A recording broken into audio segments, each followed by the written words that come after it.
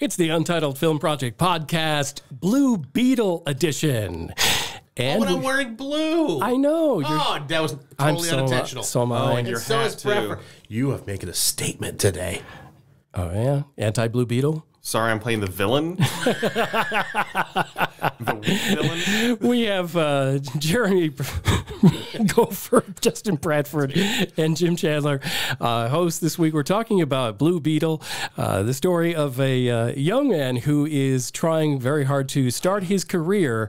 Uh, but just as that starts happening, he's fused to an alien scarab that gives him superpowers. And uh, we also have our big question of the week, which may or may not tie into the reviews of Blue Beetle, which is Are the glory days of the superhero movie uh, over?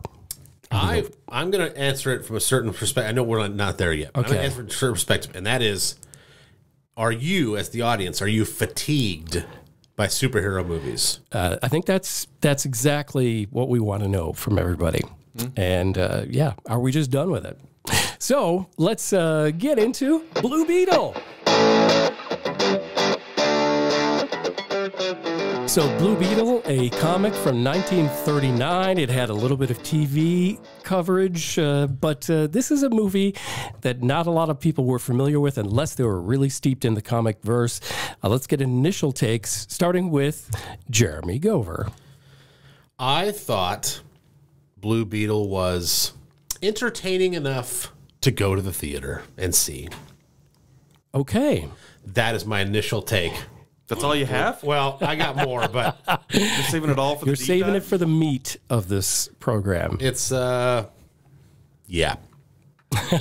I mean, I was expecting at least three sentences. But you know what? That uh, it, it- you're not saying so much says something in itself. Fine, you pulled it out of me. It's okay. We have seen all of this before. that is my initial take on Blue Beetle. okay, that, that gives a little bit more. Okay. Thank you for, for, for providing our listeners with something. You're more, I'm glad I can provide some value on the show. Some value. We were going to replace you for horror. That's true. We'll replace you for Blue Beetle. All right, Justin Bradford, an initial take, Blue Beetle. So, tailgating on what Mr. Gover said. Oh, for a second there, I thought you tailgated before you went into the I was movie. like, "Oh, you liked it that much and you didn't wear blue today? He's brake checking me here. Uh, I was pleasantly surprised because I had such low expectations going in. It had all the superhero tropes we're used to seeing, going Yep. right along with what Mr. Gover has said. But I did have low expectations. So overall, I'm going, huh. Okay, it's not as bad as I thought it was going to be, and and that's okay, and that's actually a bad thing because the marketing for it was pretty bad. Sure. The lead into it was pretty bad. We know DC's going through this whole transition process, so we don't necessarily know exactly what they're planning to do with Blue Beetle in the future. But I was pleasantly surprised.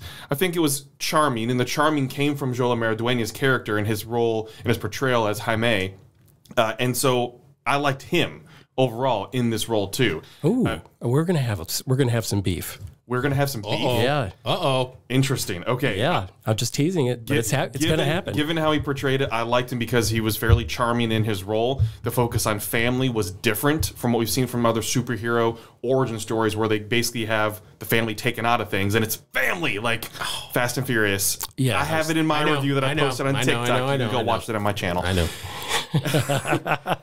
Decent battle scenes. I felt the battle scenes weren't overall rushed like what we got in uh, what Secret Invasion, where all of a sudden it's just over before it even started in a battle scene With nobody else on screen. with nobody else on screen. The that. weakest part for me was Susan Sarandon, which I hate to say that, Interesting. but very weak villain, very, very, very weak villain. It just made you roll your eyes. It reminded me of a late '90s, early 2000s superhero movie villain. Where like, y- you're, we know you're going to lose. There's no stakes for you. We know you're going to fail.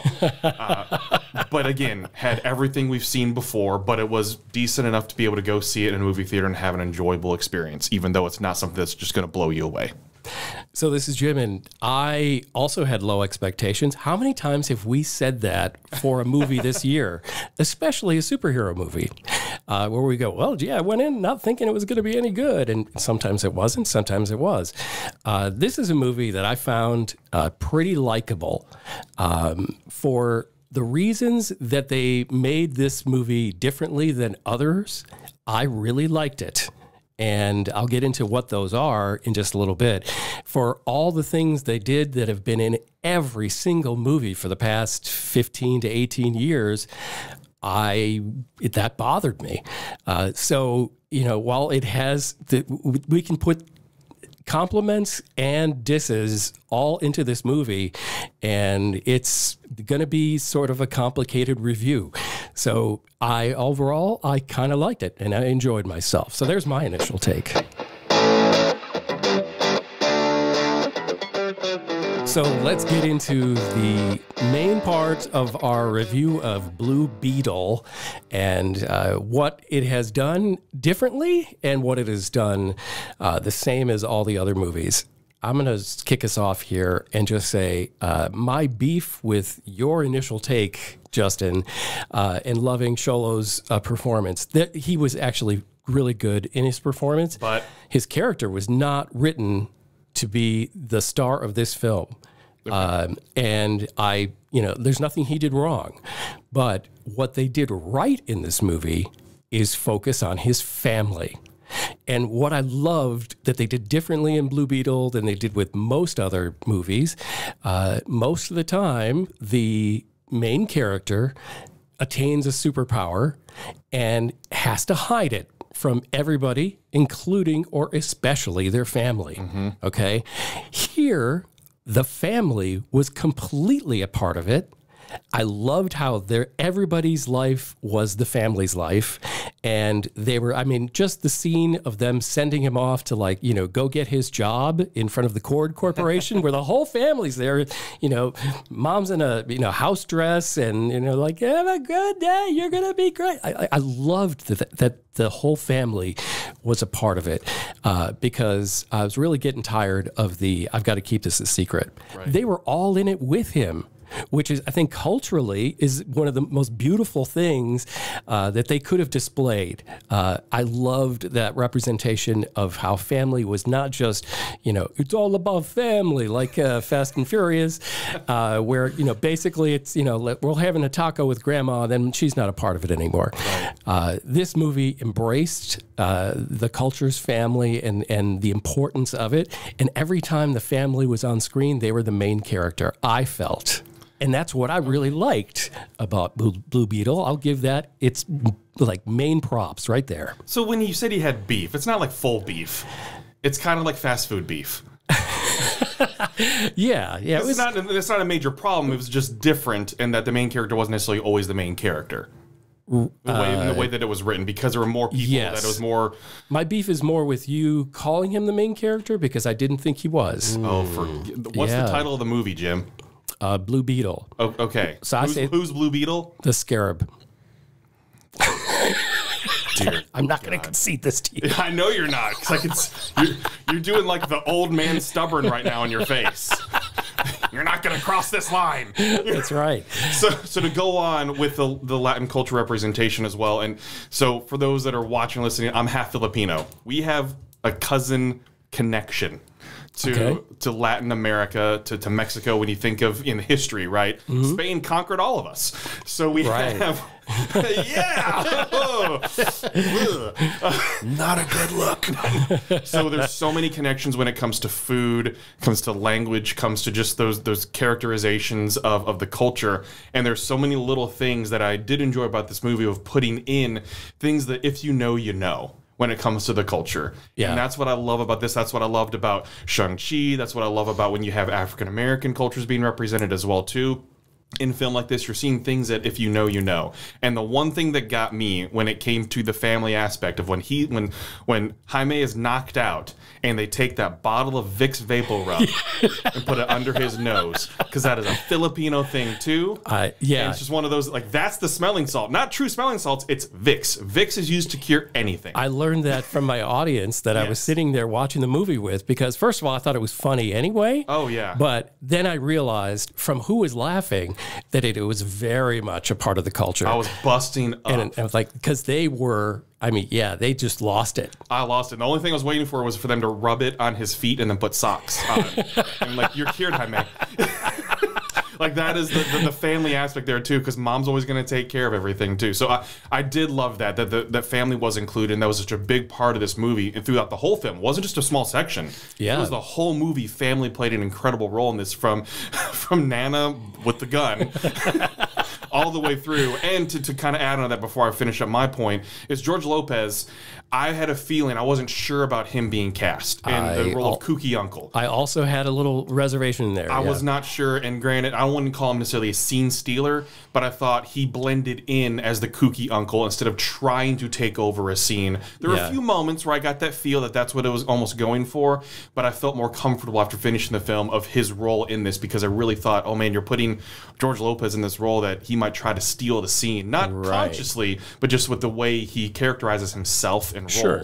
But he didn't. I felt like he fit into that family aspect of what role he was playing in the family. And I, I think when he did those uh, jokes where and he's he's inserted in the situation, but he's not the focus, uh, his jokes landed. Yeah. You know, like uh, when they make a the reference to Batman, he's like, he's fascist. Yeah. You know, like there's, there's two words, but Right. I chuckled out loud. I thought it was uh, very well done. Justin Bradford, you. I'm sorry. I'm looking right at him. I know. Jeremy Gover. I'm going to change the name on the bottom of my panel, the YouTube version, just for that. Uh, uh, let's about George Lopez for a second. So I'm not a big George Lopez fan. I- I'm, I'm a big stand-up comedy fan, as you guys know, right? I love stand-up comedy. Never been a big George Lopez fan. He's hit or miss for me, mostly miss. And a lot of his jokes are just kind of predictable and blah. In this, he surprised me. When he came on screen, because I forgot he was in this, when he came on screen, I was like, oh, criminy, here we go. and he actually had five or six lines or pieces of dialogue that went back and forth that were pretty funny.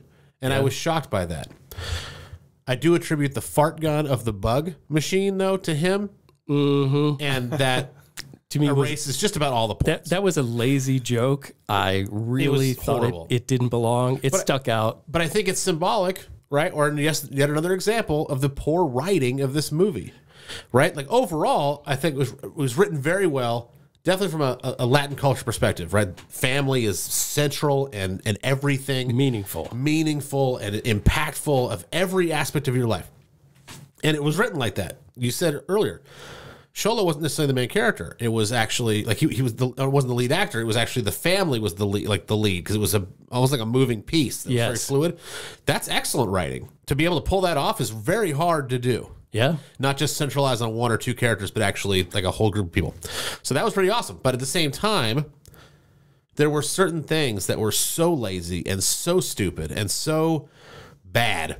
And one of those is the fact that we, like I said in my initial takes, what I eventually said in my initial takes is we've seen all this before. Yes. Iron Man, Iron Man 2, Black Panther. I kept a list Black Panther, Spider Man Homecoming, Guardians 3, Ms. Marvel, Moon Knight, and Black Widow.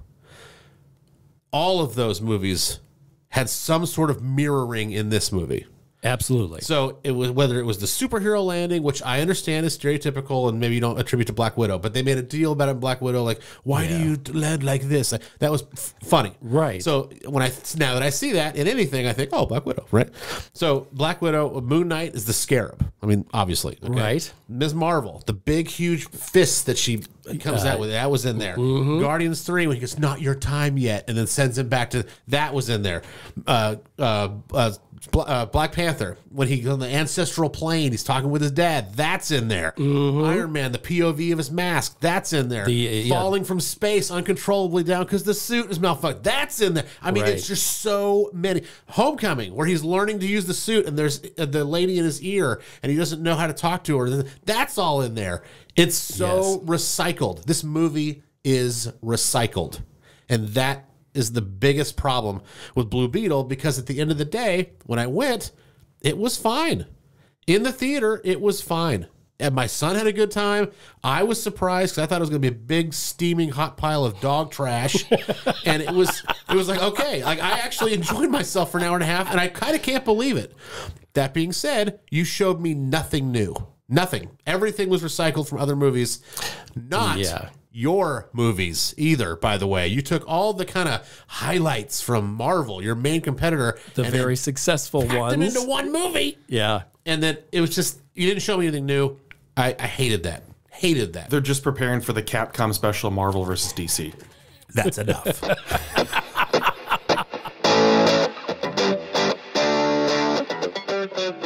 I, want to jump onto the uh, Susan Sarandon uh, because I mean, besides George Lopez, she's one of like the most notable names. I mean, she's you know talking. She's been part of the Academy conversation with awards and nominations for years. We just haven't seen her as much lately.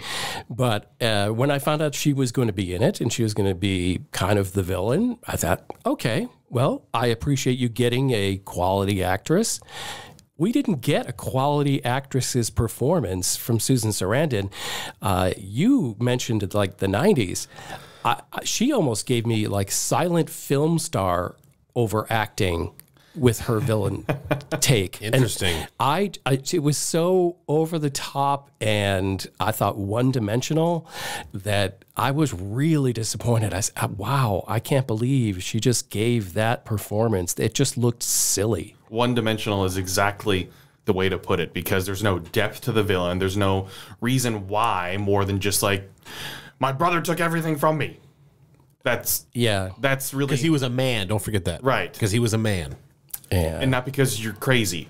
right, right. Like there, there, obviously were there was reasons why that side of the family didn't want her to touch anything because of what she was doing, and that's not enough for villains nowadays. We want we want more, and it's not just the the Marvel thing or the DC thing. It's we want depth of a villain because we want a villain to where we can understand the reasons why they're doing what they do. Yep. But it's the wrong way they're going about it. We want someone that we can mo- almost relate to and feel for them, not in an empathetic way, but be like, yeah, that that's not the way to do it. Just like Killmonger. Right. Killmonger is a fantastic villain in Black Panther because you see why he's doing what he's doing because he's been built to do that. You understand how he got there. You understand his villain arc. You understand why he's a villain. Here, you don't understand why she's a villain or what she's doing, why there's no empathy, but other people around her gain empathy throughout the film. Uh, so it's that's why it's such a weak villain. This, she's a villain for the sake of being a villain, and it gives very cartoony nature to it. yeah, and you and you are right. That's how in in the corporate uh, CEO entrepreneur villain was like an 80s and 90s trope. Yeah. Right? I mean like you have it's like a RoboCop, you know, the, the you know kind of thing like that. Shout out to Peter Weller. Yeah, that's right. Uh, so yeah, I mean, it, like it, there there are some good comparisons there. That's, that now that you mention that, um, that would, she, this movie deserved a lot better. Um, I in fact I forget the name of uh, you know her henchman that uh, you know started getting the Carapax. scarab juice, Yeah. oh God. Milking him. right? Ah, good one.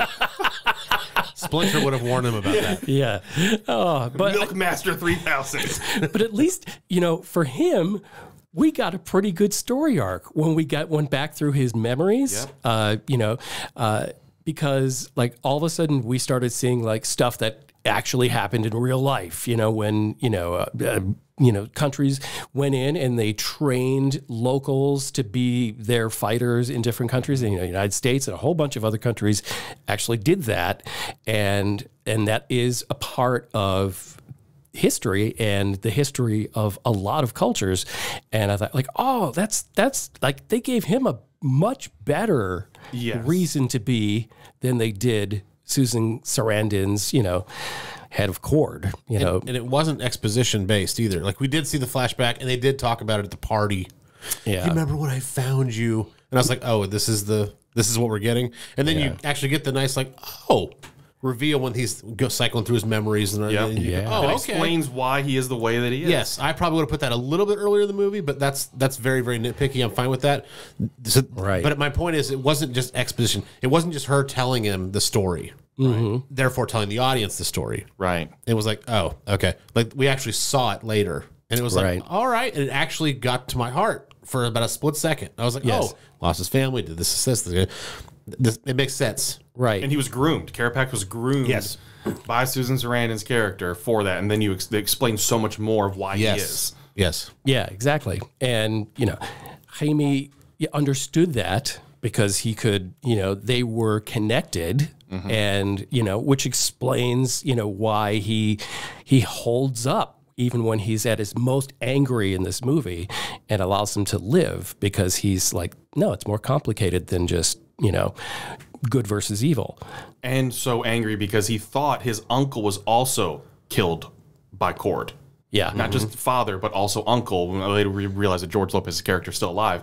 But he's thinking two deaths have been caused and he still holds back. Yeah. Yeah. Because that connection that was made. Yes. and that and and I did think it was kind of fun that he was uh, you know as the blue beetle the one who tried to harm anyone the least his family didn't give a crap they're like must mow people down I know.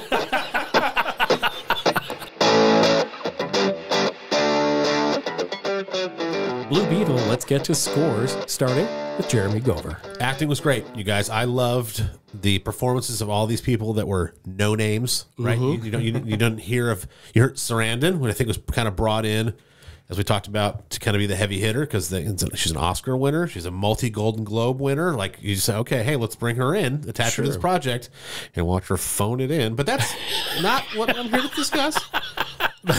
So, and then of course George Lopez, you know, kind of comedic relief, whatever. But the other cast, the actual cast that mattered, yeah was pretty good. I thought they were pretty good. uh, they did well Yeah, uh, representation of Latin culture demographic was excellent. I love seeing that, especially again in the way that they presented it. It wasn't just like, oh, here's a Mexican superhero because we have to tick that box, and he the Mexican people don't have that. It wasn't like that. It was like, oh. There's a family dynamic. It's very, very, very important to Latin cultures. Like they, they, they made it everything about that. Yeah. that was that was excellent. George Lopez was actually funny. Like I said, not a big fan of his. He actually had some good lines. Susan Sarandon phoned it in, like I said, and I did not. And I hated that it was so recycled. That all these other projects in of in its competitor were brought into this one and kind of almost like made like a greatest hits album. Is basically kind of what it was like. Okay. But here's my main problem, and I will admit that it is nitpicky to a degree. I'm I'm only taking half a point off for it. That's what I mean by that. but thank you for being you But it you're welcome. Half a point off. Thank you for letting me be me. But I, I this is an honest question. I want the listeners to weigh in on this. I want you guys to weigh in on it because I don't know if I'm just being Gover's turning into an old man or if it's or if it really is a problem. Okay, because it really really bothered me in the movie. okay Do you remember when Jaime Reyes walks into Kord Industries and he goes up to the receptionist's office? He doesn't have an appointment because she just Jenny told him to come by, right? Yeah. So he goes to the receptionist and he says, and she goes, "Hi, what's your name?" And he goes, "Jaime Reyes." And she goes, "Okay, Jamie, um, you'll be there. Uh, you'll just go have a seat." And he goes, "No, no, no, it's Jaime." She goes, "Okay, Jamie, go have a seat."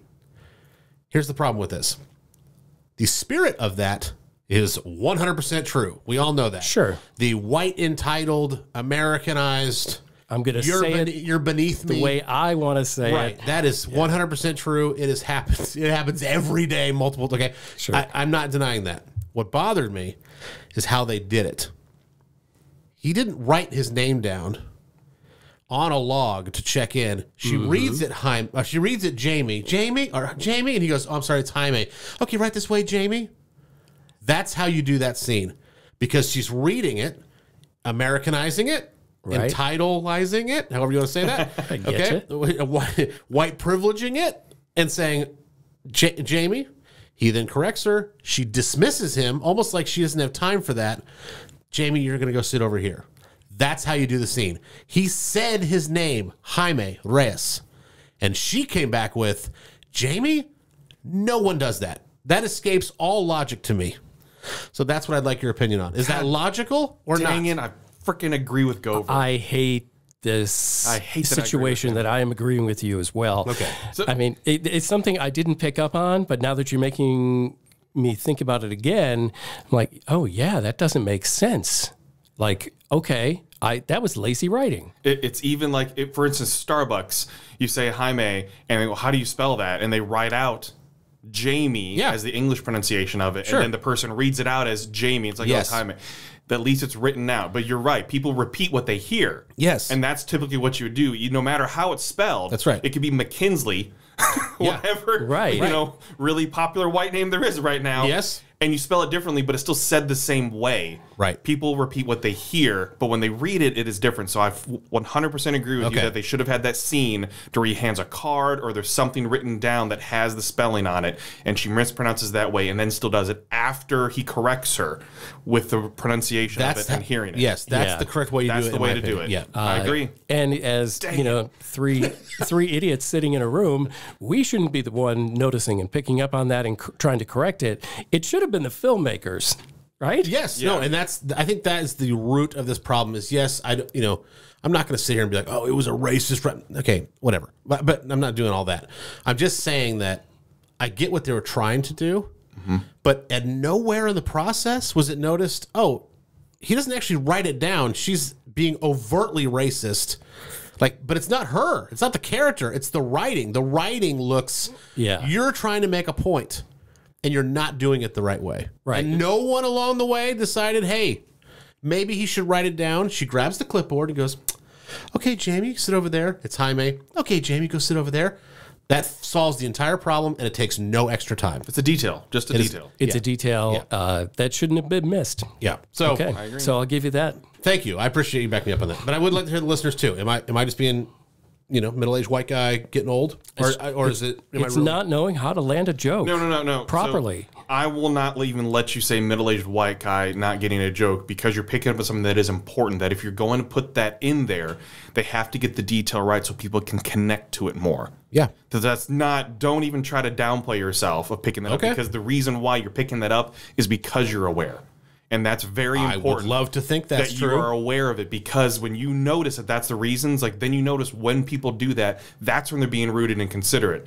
It doesn't make any sense that when somebody hears something, they don't repeat it because Right. they're not just purposely saying that. Because who has who has never heard a Spanish language way of saying Jamie before would instantly say, "Oh, it's Jamie." They would think it's spelled some other way. Right. So you recognizing that shows so much more value of what you're given in social community and culture that I would never want you to downplay yourself on not Okay, picking well, that up. and I getting it. appreciate that. Now I'm glad I brought it up. I was really Yes. nervous about bringing it up on the way here. And you're I'm just plain being you've already established you're a fan of comedians, so you know how uh, a point or a joke has to be properly set up Has for to it to, to land correctly. If you add one or two words, it will not land the same as if you It changes it completely. That's right. Yeah. Okay. Well, anyway, at the end of the day, again, I enjoyed myself at the movie theater. I was surprised by that. My son enjoyed himself. Blue Beetle gets a 5.5 from me. Okay. Let's uh, go to Justin Bradford. What is your score for Blue Beetle and why? All right, so Blue Beetle, I'm I'm curious of what's going to happen with the future Blue Beetle, given how we had that mid-credit scene and they're diving into something that could be further storylines, but we don't know with James Gunn taking over if they're going to fu- do future exploration of Blue Beetle. So I'm looking at it as a standalone film right now and what they're trying to do. And I feel like as an origin story overall, yes, we saw every superhero trope. We saw everything we've seen in the moment of the theater, I did enjoy myself. I was pleasantly surprised. The Susan Sarandon villain definitely takes points in Gover's Yeah. words off for mm-hmm. me because it was not a good villain. But the family aspect makes up for that for me. So it's like almost a wash when it comes to that. Right. The representation of not just having people of a certain skin tone and culture on, but actually diving in and making sure because of the filmmakers being of Latin culture, Yes. having those little itty bitty things in there from whether it's the family layout of having a multi generational family living in one household, Yep. which is big, having the Vicks VapoRub moment, having the little things in Spanish that weren't subtitled. Because it has to Yes. be that if you know, you know, and Great if you call. understand, you understand. It's like we are paying homage to the culture, and that you're going to get this joke, uh, but it's not for everybody. This is for you. We are representing you here, and it, we don't have to subtitle this because sometimes it can't be subtitled properly either. Yeah. There's no direct translation uh, to things as well. So I loved that aspect of it. George Lopez, better than I thought he would be. Thought Xolo Maridueña, I thought he was good in his role. And, and obviously, this is a big breakout role from him from Cobra Kai Yeah. now to big time movies as well. So it's going to open up opportunities for him. Uh, overall, since I enjoyed it, I give it a 6.5. Okay. Okay. This is Jim. And uh, if I'm just going to boil this down scientifically, mathematically, by points, uh, I would have to say that uh, what the score you're going to get is the effort by the filmmakers and the actors uh, to portray a really likable, realistic family. Yeah, sure, kind of turned up a few notches, you know, for comedic and dramatic effect. But it just, I, I felt like I knew these people, and I really enjoyed the way they made this a family movie, not in the way that the, it's for a family audience, but this is a movie about a family. Uh, so, you know, Xolo Maridueña, who did great job. He just wasn't the focus for me. He was kind of like uh, he moved it along for the whole family, uh, and what happens to him becoming Blue Beetle. Uh, so all that stuff I loved, and all the points that this movie gets from me are from those things.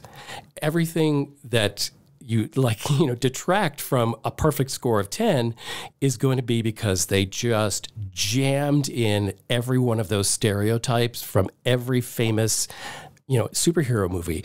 Uh, you know, there's there's 10 more that you didn't mention. I'm sure there are. That, that, I you know that were going through my head. Like, you know, I'm like, ah yeah, he's got a super suit. You know, like, it was like the Incredibles I remembered. Uh, there were so many more. So I'm giving uh, Blue Beetle, even though I walked out of there with a smile on my face uh, and I kind of enjoyed it, uh, I'm not going to think about it forever. Uh, I'm going to give it a 6.5, and that goes completely to the cast of this movie and the people who developed that cast and portrayed them, and you know both uh, in front of and behind the camera. And that other three and a half is just being lopped off because you just took stuff from other movies, and and that part you were wasting our time, and you wasted the good parts of this movie by throwing it away with garbage at the end. So 6.5, too bad. Could have been better. That's the worst compliment, I think. But also could have been way worse. No, true. But I'm saying if you're a filmmaker, and I, this is just a throwaway comment. If you're a filmmaker and you get a review that says could have been better, that means you left a lot on the table And you had a chance. and you had a chance. It's the I'm not mad, I'm disappointed. Oh yeah, that's, That's what exactly that oh, that's, That's it. Oh right. gosh. Oh yeah. We're gonna use that in the oh, promo. That's Yeah, Dad. Dad was. I thought he was going to yell at me, and he didn't. It was worse.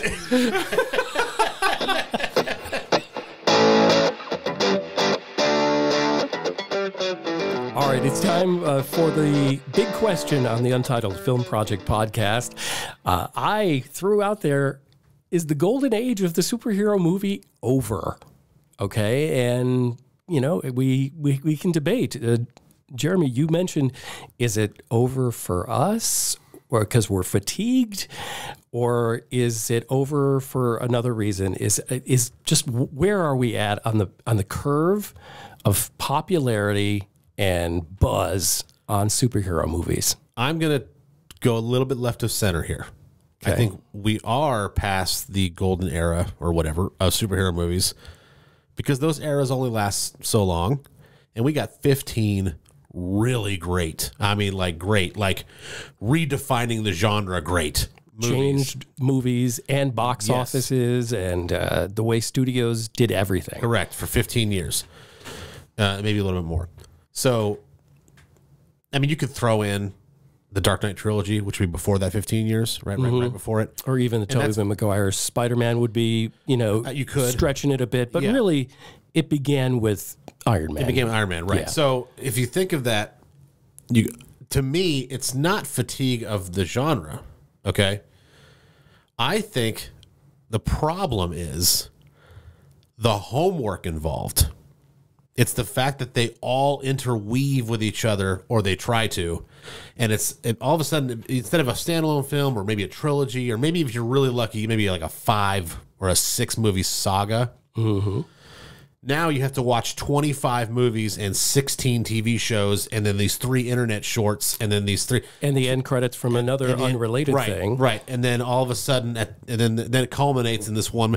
So it's the homework involved. People are busy.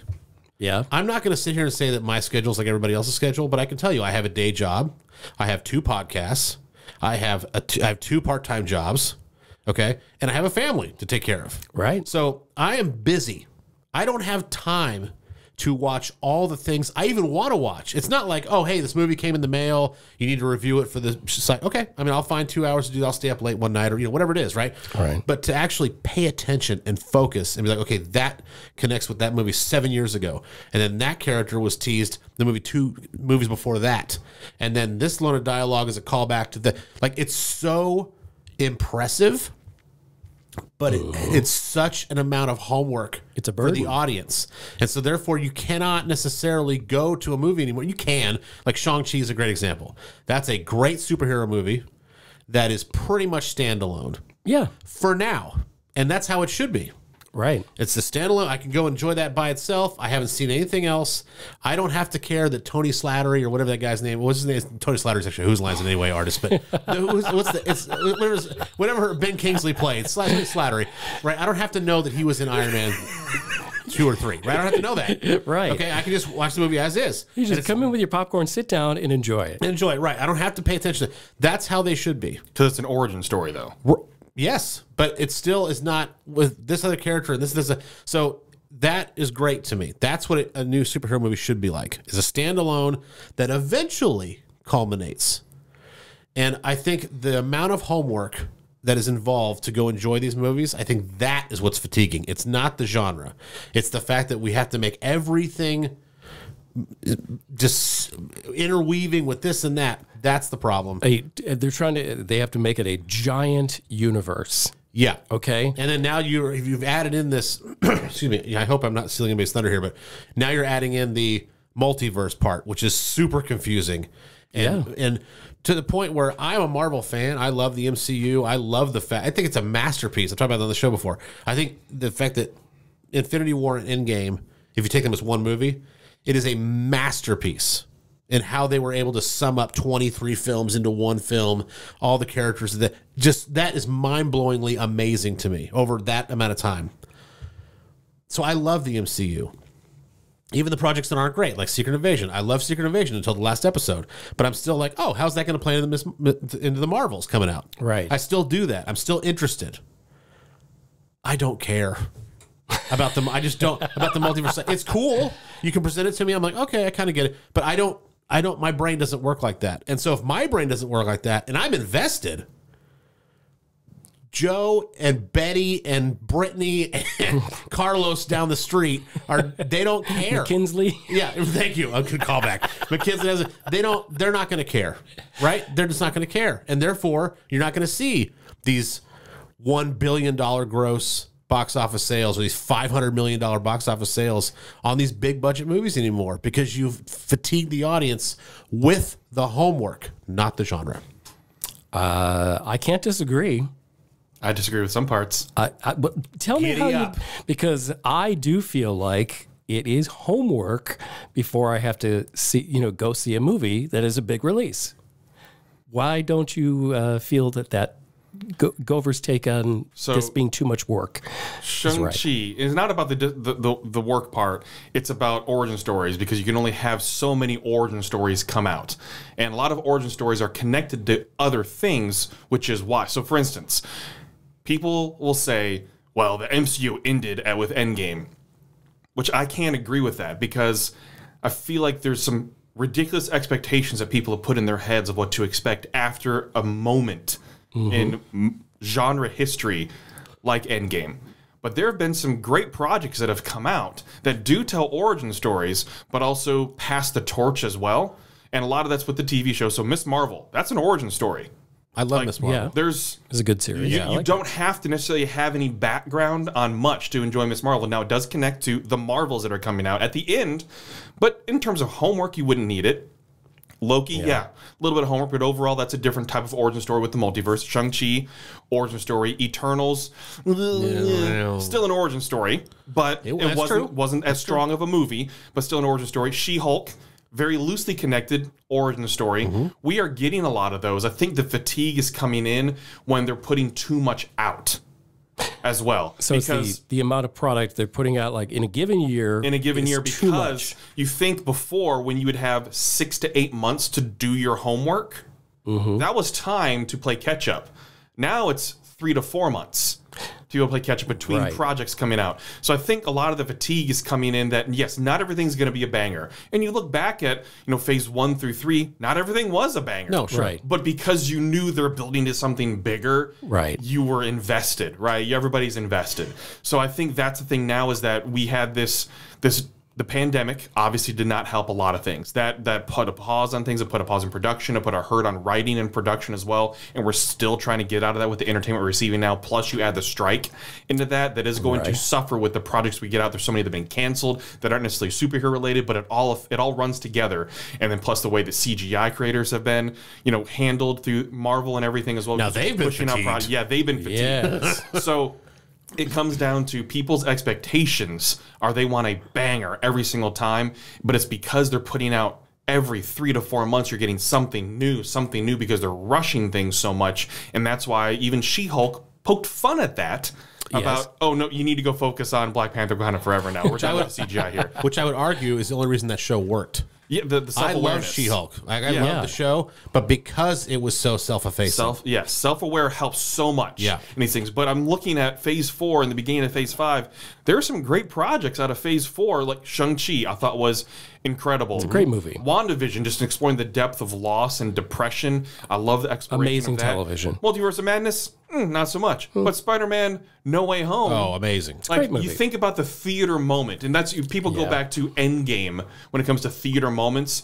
The Mm-hmm. moments we see the other Spider-Man on the screen, Yeah. the moments in a packed theater, close, not the same, but close to Endgame levels in Yeah, terms of how people react. gasps Yes. or laughs or Even though we knew part of it was coming, we, we just had that feeling it was coming. We didn't know for sure yet until things got leaked. But but when it happened, people just erupted and it was amazing. We've had some great projects, so I'm not necessarily calling it fatigue from it being poor creations. Even though not everything's a banger, I think it's fatigue because they're rushing projects too much. Okay. And putting too much out in one year when right. it wasn't like that before. So, like a factory is is pushing out more cars than they ever were, and guess what? There's more defects, and there's a couple of lemons in there. it will be, yes. Okay. Oh, I'm gonna, I'm gonna, I'm gonna. I, I like that. Uh, I think that's true. I, I do think they're trying to put out too much, uh, and the quality is going to suffer. You're going to have more hits and misses that way.